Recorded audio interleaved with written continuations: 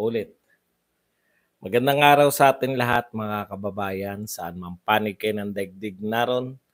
Dito na naman tayo sa another episode ng ating Badra, Badong Ratlis Vlogs. Pag-uusapan natin ngayon, ito po, no, ah, sasabayan po ng China. Ito pong military exercise ng ah, ah, Pilipinas,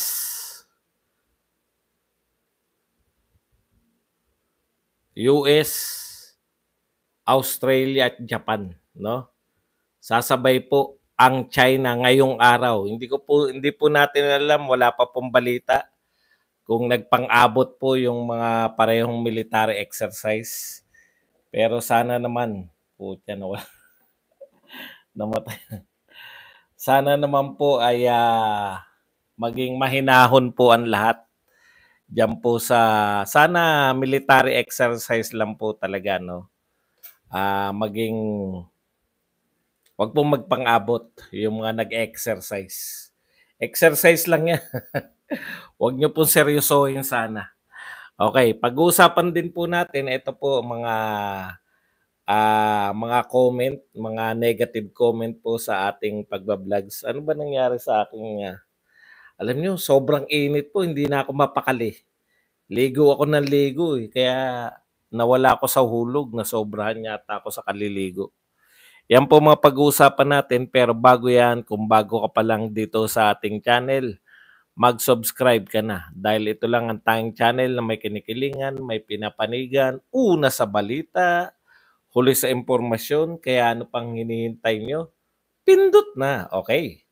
Pag-usapan po natin, no? So alam na po natin, matagal na pong uh, dinidiscuss yan, tinatalakay sa lahat po ng dyaryo na ngayong pong araw na to, linggo, ay uh, magsasagawa po yung apat na bansang magkakalyado uh, dito po sa West Philippine Sea at saka sa South China Sea uh, ng mga joint patrol, no? Uh, joint military exercise po. Uh, yan po yung uh, US sa panguna po ng US at mga kalyado niya rito sa Asia Pacific, Japan, Pilipinas at Australia. Pero okay lang po 'yan no dahil uh, uh, normal lang po 'yan. Ang hindi po normal ngayon pong umaga alas 9:42 ay uh, nagpahayag uh, po ang China. Ito po, China to hold drills in disputed South China Sea on Sunday. Pahayag po ng China Chinese Army. So hindi po natin alam, no? Kasi uh, kung kung ano pong mangyayari diyan. Anyways, ano man mang mangyari diyan, magkaroon man ng putukan o gerian, eh talagang ganyan eh. Yan yung gusto ng ating uh, yan nag nagano tayo eh na sumama tayo dito sa mga sa mga kaalyado na instead na makipag-usap na lang tayo sa ating kaalitan katulad po ng ginagawa ng mga Southeast Asian neighbors natin actually ano po tayo ngayon eh isolated tayo sa ating uh, uh, Southeast Asian neighbors dahil ayaw po nila eh. Gusto nila tayo-tayo lang mag-resolve, tayo magkakapit-bahay lang. Southeast Asia tsaka China. Pero pilit nating ini-involve yung mga taga-malayo, no? Katulad na US, Japan at Australia, yung pupunta pa nga tayo sa Europe. Uh, hindi po ano, hindi na po to usapin ng uh, ikaw ba'y maka-China o maka-US? Sino po ba may sabing dapat maka-China tayo o maka-US? Dapat po maka-Pilipinas tayo kung ano po yung uh, kung ano po yung ano uh, ma- mag makakabuti sa atin. Ako kasi very practical eh, no? Kung meron tayong kung China po yung uh, problema natin, sa China po tayo makipagkasundo, hindi po yung maghanap tayo ng mga kakampi. Actually, akala lang natin naghanap tayo ng kakampi.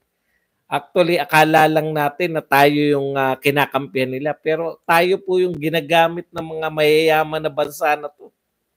Sa totoo lang, panahon po ni Pangulong Duterte, meron na po tayong sarili. Oh. Tayo na po sana yung nagpapasya kung sino, ano po gagawin natin sa ating foreign relations, no? Yung pabor naman sa atin. Friends to all, enemies to none. Wala po tayong problema eh. Ngayon, involved na involved tayo. Eh, sana naman po, uh, nananalangin pa rin tayo na hindi po to mag, mag, maging mitya. No? Kasi, eh paano kung git-gitin niya? paano kung yung katulad ng ginagawa sa mga barko natin, gawin na ng China yan? Alam niyo po, siyempre, hindi naman po full force yung mga taga-ibang bansa na yan. No? Exercise lang nga eh. 'Di ba? Samantalang ang dami po ng China, ang dami na po nilang mga military bases dito. Yung pong mga hinayaan ni Pinoy na makapagtayo sila ng mga base militar nila na ayon kay Parlade, pwede pa nilang awatin sana, no? Yung nagsisimula pa lang. Eh talagang ano eh. Hindi ko po maintindihan talaga. Kaya lahat po ng mga pangarap nyo na ito po ah, uh, ito po ay hindi po to sa dyaryo lang ng Pilipinas. Ito po ay uh, agency uh, agency France Press AFP, no? Yan po yung mga international syndicated na na balita na pinipick up po yan ng buong mundo.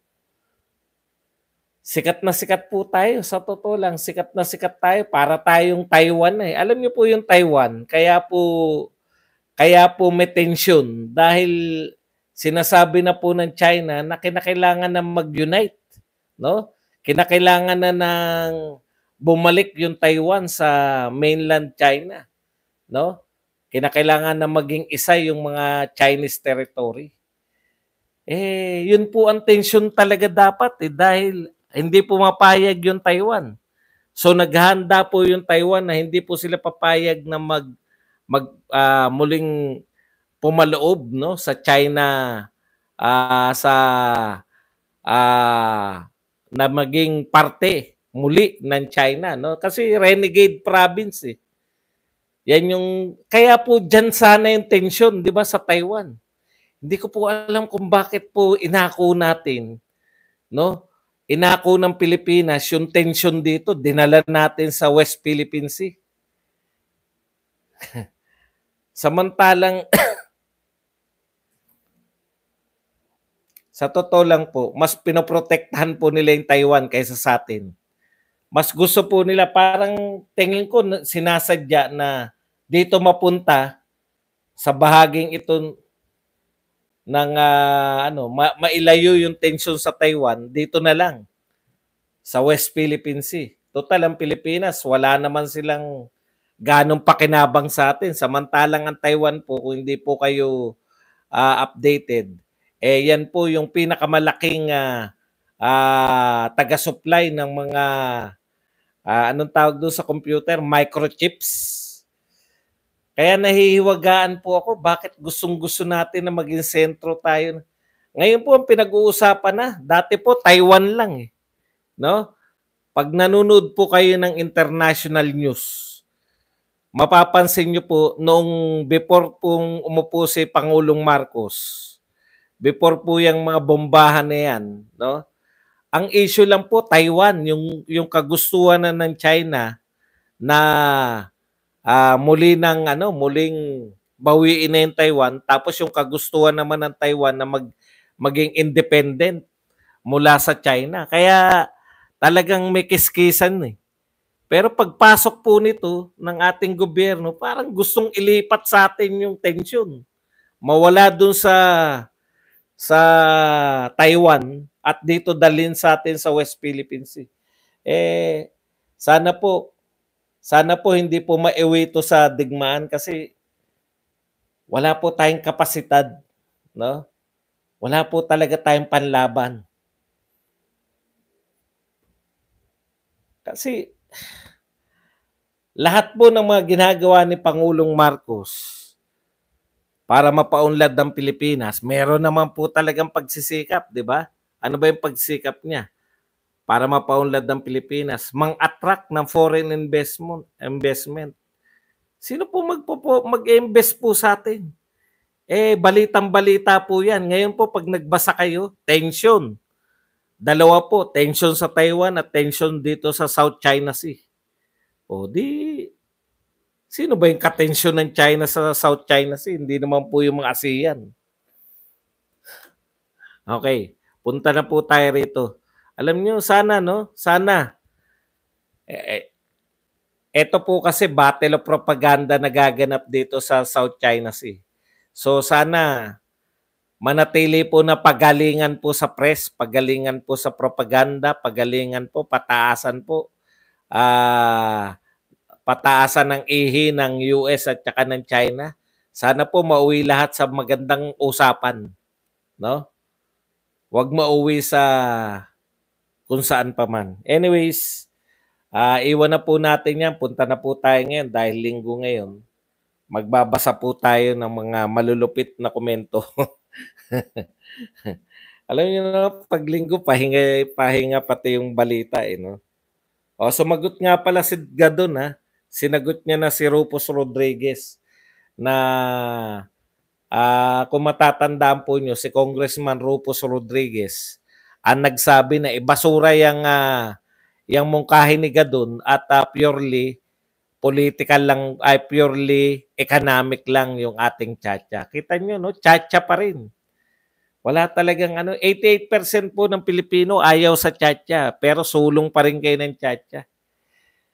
Wala na talaga kayong susundin. Alam niyo po ba, nung binabanatan po nila si Pangulong Duterte, sinasabi po nila, eh di ba si si Tatay Digong mo rin, yeah, sabi nila, di ba Tatay Digong mo rin badong nung panahon na siyang presidente, gusto niya rin magchacha? Hindi lang niya kayang ipatupad. Alam po ninyo, hindi po yung sa hindi kayang ipatupad eh. Pucha, kung yung Manila Bay nga, nalinis ni Tatay Digong. Yung mga imposible kaya eh. Hindi niya lang po pinagpilitan nung na-realize niya na ayaw ng mga Pilipino ng tiyatya. Marunong makinig yung presidente namin eh. Ayaw ng Pilipino yung tiyatya, hindi niya po tinuloy. Yun po yun. Pero pwede niya pong ituloy yun. May political will yan eh, kung gusto niya. Sabi ni Pangulong Duterte, tsaka na yung tiyatya na yan, tsaka na yung, yung uh, federalism. Kasi hindi na unawaan ng mga Pilipino eh. Hindi pa hindi pa nila alam. Eh ito hindi nga natin alam kung anong babaguhin nila sa constitution eh. Ang dami po talaga 88% ayaw. Pabibong badong, kayo lang nagsasabi na 88% na ayaw ng fake news. O eh kung hindi kayo naniniwala sa survey, wala po kaming problema diyan. Alam po ninyo, yung survey po na sinasabi ninyong hindi dapat paniwalaan, yan po yung survey na nagsabi na tatambakan ni, ni BBM si Lenny. No? Yan yung nagkatotoo. SWS at saka tong, uh, tong Pulse Asia at lahat pa ng survey company nung panahon na yun. Sinabi po tatambakan ni BBM si Lenny Robredo. O BBM kayo, di ba? Yung nag, uh, nangangantsaw na ganyan, BBM ka. Hindi mo binatikos pagka lamang si BBM. Ako po, sa survey, tama po yan. May mga survey company po na create para manlito lang. No? Pero yung may mga track record, kaya po sasabihin dito na, ah, uh, syempre badong, meron dyan eh, mamaya, unahin ko na. Kasi narito na yung tot eh. Siyempre badong, pag pabor sa iyo, naniniwala ka sa survey. Pero pag hindi pabor sa iyo, hindi ka naniniwala. Hindi po. Naniniwala po ako sa scientific survey. At naniniwala po ako sa survey na meron na pong track record. Actually, magtapatan tayo. Dalawang survey lang po yung pinaniniwalaan ko. SW at lahat ng mga politiko. Lahat ha, as lahat ng politiko pinaniniwalaan po nila SWS tsaka yung Pulse Asia na yan. No? Kasi hindi ka, wala kang alam sa politika pag hindi ka naniniwala sa survey. alam niyo po, isa sa sar- isang survey sa pinagbabatayan ng mga politiko sa moves nila. Baka wala kayong ideya, bibigyan ko po kayo ng ideya. Halimbawa po, yung mayor, tatakbo siya, di ba? Tumatakbong mayor Kinuwento to ng mayor namin eh. Nakwento niya to eh, sa isang pagtitipon. Hindi raw naniniwala yung mga yung mga kagawad niyang, yung tumatakbong kagawad niya sa survey-survey. Sabi niya, scientific yan survey. Ang purpose mo kaya ka nagpapasarvey, halimbawa, sa barangay na yan. Ito purpose ha. Hindi mo kukontra, hindi ka katulad ni Jared na ano sample size, hindi hindi ganoon. Ang treatment mo sa survey, sila nagbabadi. Alam mo yun, politiko, kaya po kumikita yung SWS tsaka yung Pulse Asia kahit hindi po nila pekein. Kumikita sila dahil sa tiwala sa kanila yung mga politiko. Eh, ang dami pong politiko sa Pilipinas eh. Dahil po sa track record nila na hindi po sila bias. Talagang kung ano alam niyo yung yung yung uh, presidente ng Pulse Asia, si Holmes. Ano po 'yan? Dilawan po 'yan. Pero wala siyang pakialam sa kanyang politika. No? Kung anong kinalabasan ng survey kasi trabaho nila 'yan eh. O kan alimbawa, balik tayo sa kwento ko sa mayor. Titignan niya sa ang barangay ako mahina. Kaya ka nagbabayad ng survey. Hinari niya halimbawa yung Pulse Asia. Ay, sa tatlong barangay pala na to, mahina ako. Diyan ang pupuruhan mo. Pupuruhan mo diyan ng kampanya. Kikilalanin mo yung mga leader diyan. Yun po yung silbi nun. Kaya kumikita po yung mga survey company na yan, hindi po do, dahil sa kung saan, pag naging, pag nagkaroon sila ng track record na sila scientific at hindi bias, lalo po silang uh, uh, ano, tatangkilikin ng mga political party. Yun po yun. Okay, punta po tayo rito sa mga magagandang uh, komento para sa akin. Magaganda kasi mga nakakontra to eh. Ayoko yung papuri-papuri na komento. Gusto ko yung kinokontra yung mga sinasabi natin. Sari-saring topic po to ah. Eh, nasira pa tong lintik na cellphone na to. Teka lang ah.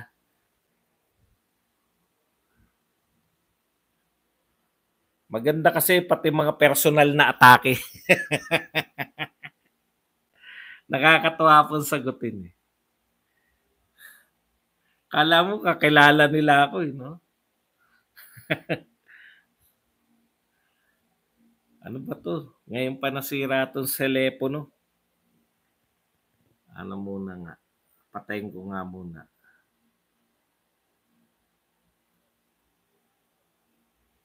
Ah, dito muna tayo sa ibang komento. Dalawa yung, ano, eh, dalawa yung cellphone ko na nilabasan ko. Eh. Ito po. Ha ha ha. No chance to be president na yang si Inday Sara mo. Pauso po nila to yung si na si Jinping, si Inday Sara mo badong. Wala na kayong makukuhang suporta sa ibang partido. Hindi kailangan ng Pilipinas ang palaaway na angkan. Okay. No chance na raw to yung, na maging president si Sara Duterte. Ito po yung sinasabi natin. Lahat po ng lahat po ng uh, survey company, lahat po ng survey, nangunguna si Sara Duterte. Mapa presidential survey at mapa uh, mapa trust rating, approval rating, nangunguna po si Sara Duterte. Statistically, tie po sila no ni ano sa presidential survey ni Rafi Tulfo. Pero uh, yan, yan pong tie na yan, ngayon po yan. Pag, pag uh, inatake po si Tulpo ng mga dilawan dahil gusto ni Lening mag-second. At saka siyempre, uh, bagong-bago pa lang si Tulpo, two years pa lang. May expose pa yan si Tulpo, no? Hindi naman ako naniniwala na kinakailangan kinakailangan siraan si Tulpo eh. Siya mismo sisira. Siya mismo sisira ang point ko, kung statistically tay kay ni Tulpo, one point lang yung lamang ni Tulpo. Chef si Sara Duterte ang walang pag-asa. Oh, baka si Martin ang walang pag-asa, yung wala pang 1%. Yung 0.5% lang. Di ba? Maging realistic po kayo. Okay.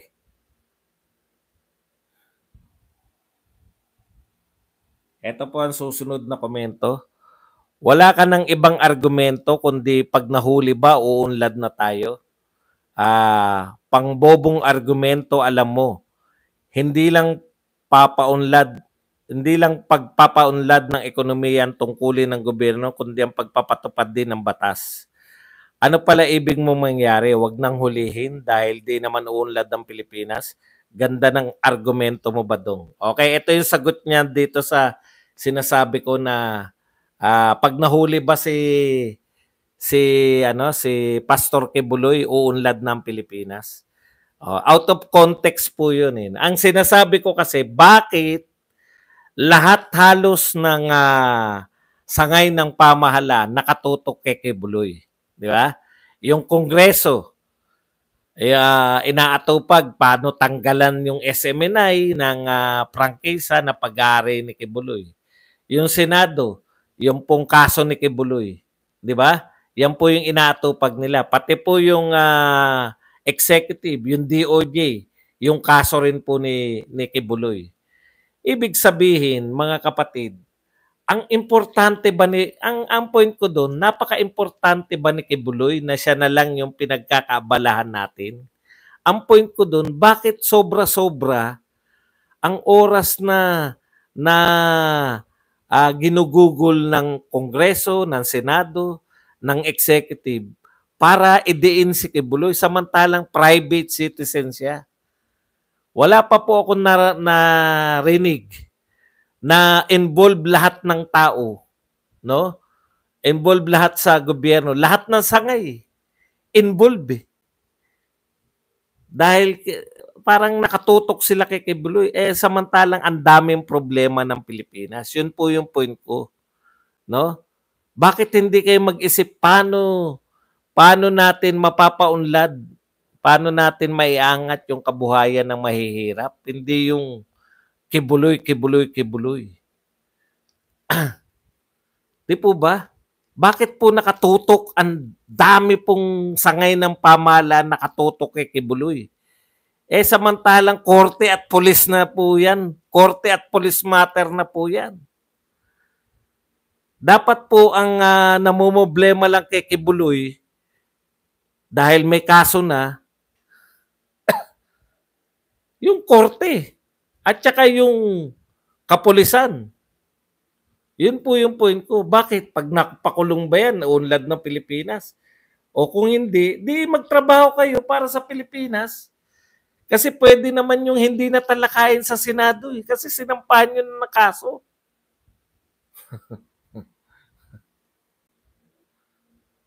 okay.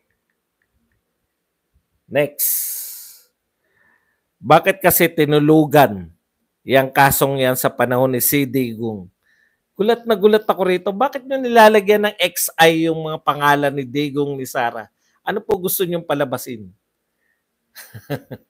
Hindi niyo po ba pwedeng sabihin pro-China na Kaya kailangan ilagay niyo talaga si Digong. Pantanga pong ano yan, pantanga. okay. Apat na taon, isa lang ang nakikita dahilan, tropang utak kriminal. O katropa daw, kaya daw tinulugan. Ah, alam po ninyo, ang katotohanan po, dinismiss na yung kaso na yan. Ano sinasabi niyong tinulugan? Dinismiss po yan. Binuhay na maguli. paano, paano to tulugan? Eh, dinismiss na nga. Hindi po tinulugan yan, dinismiss. Ibig sabihin, wala na kaso. Eh, binuhay ng DOJ. Oh, ano sasabihin yung tinulugan? okay. Isa lang naman yan eh. Kapag pabor ang labas sa survey, okay. Pero kapag bagsak, sinungaling, mind conditioning, masakit kasi ang katotohanan. Ito po reaction niya ng uh, sinasabi natin yung survey. Hindi po. Ang sinasabi ko po, yung survey, meron po talaga, ito consistent ako rito kahit noon pa. May scientific survey at meron ng may track record. Yan pong tanghere na yan, kailan lang ba lumusot, luma, lumabas yan? Yan pong Publicus Asia, Tanghere at saka Okta Research, bago lang po yan. No? At sinasabi ko na po noon pa, na kada po may eleksyon, may mga nagtatangka pong bagong mga survey company na akala mo legit na legit, pero naglalaho rin after ng election kasi malamang natalo yung yung sinuportahan nila. Kasi ang layo eh. Ang layo nila sa mga aktual na kaganapan. So ginagamit, meron talagang mga politiko na nagtatangkang gumamit sa mga survey company para sa kanila. Pero kaya nga, dapat titignan yung track record. No? Yung Pulse Asia at SWS, hindi po ako magbabago dyan. Kung ano po ang kinalabasan ng survey nila, tatanggapin ko po. Pero yung the rest, kinakailangan muna magkaroon kayo ng magandang track record. Binabalita natin, bakit hindi?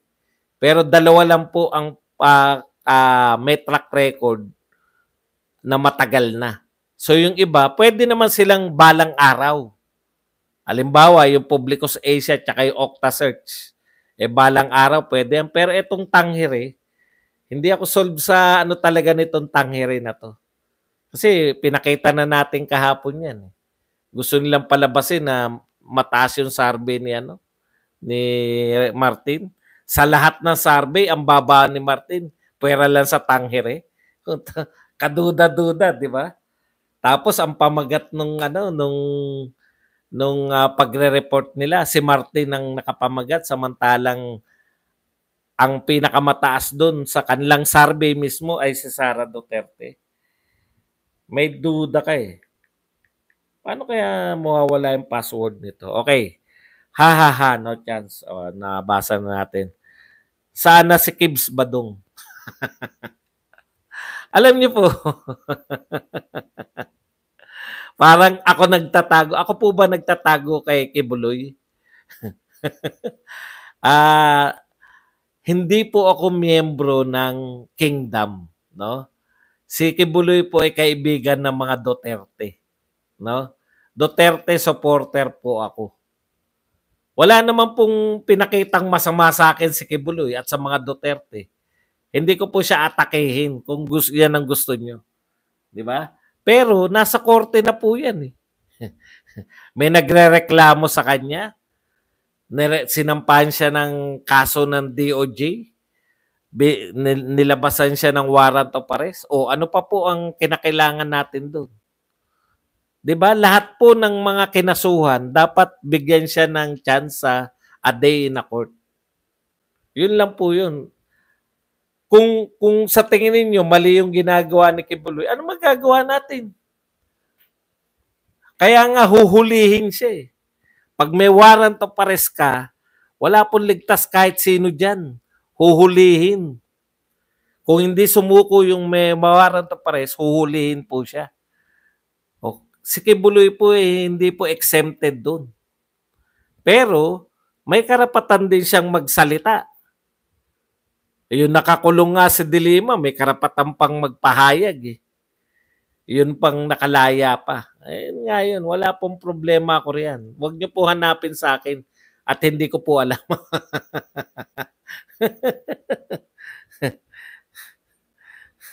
okay. Punta pa po tayo sa iba pa. Pag mga linggo ganito, hindi pa. Meron pa tayo mga babasahin eh. Sana ba?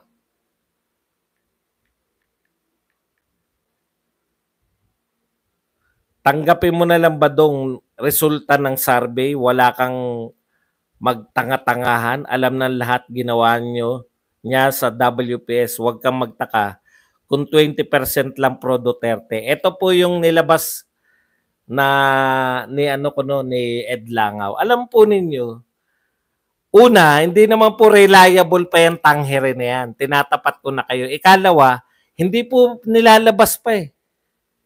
Inunan nyo yung ano, eh, interpretation eh, bago yung resulta eh. Kasi kung makikinig lang po tayo sa interpretation, hindi natin makikita yung actual na survey, eh subject po yung interpretation sa biases. Nakita na natin kahapon sa ta, tinalakay natin. Eh. Dapat ang tinatanong nyo si Ed Langaw. Bakit niya ilalabas yung interpretasyon nang wala pa yung resulta mismo ng survey? O, di ba? Kasi gusto nila manlito eh. Wala na ang problema diyan. Eh tanghiri yan, di naman di naman katulad nga ng sinasabi ko, hindi po lahat ng survey company ay uh, same natin titignan, di ba?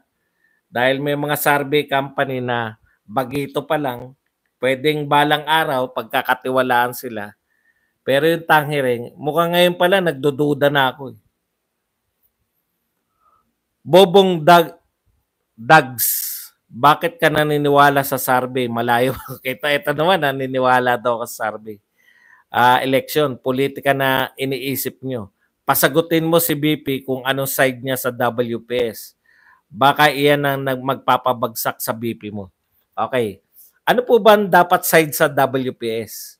Kasi ang ang pinalalaganap ng mga to, dalawa yung side sa WPS. No? Ano raw po yung dalawang side na yon? Yung pong side ng dapat maka-China ka o maka-US ka. Hindi ba pwedeng maka-Pilipinas tayo dahil tayo Pilipino. Pinalalabas niyo eh. Okay, yung survey po, hindi po kami ang may gawa ng survey. No? Kung hindi ka naniniwala sa survey, eh wala kang karapatan sa politika. Dahil lahat po ng mga mahilig sa politika, sinusuri po yung mga survey.